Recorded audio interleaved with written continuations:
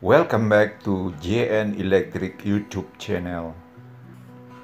Today I will talk about an MC451 audio equipment dual mono McIntosh power amplifier. This amplifier does look unique.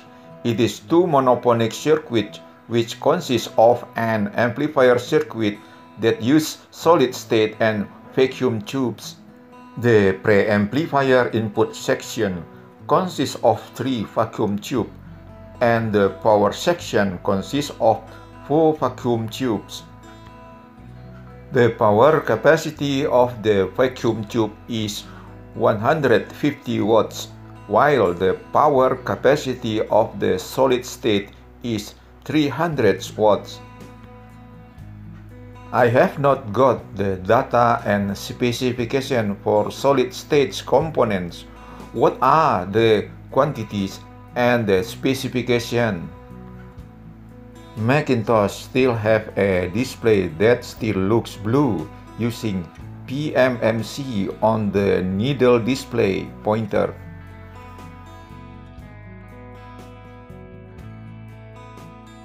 Which dimension of 45.4 cm wide, 30 cm height, and 50 4.6 cm deep, 133 pounds, 60.3 kilograms net.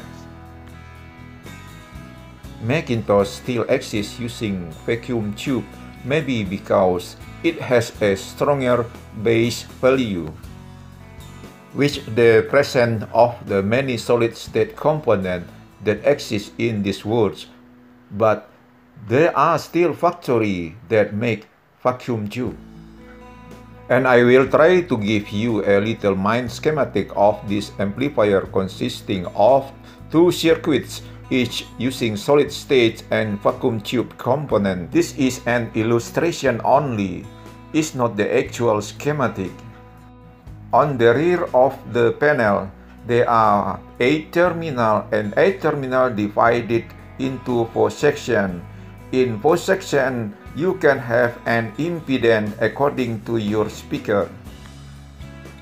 You should not be wrong to matching your speaker impedance with the this amplifier.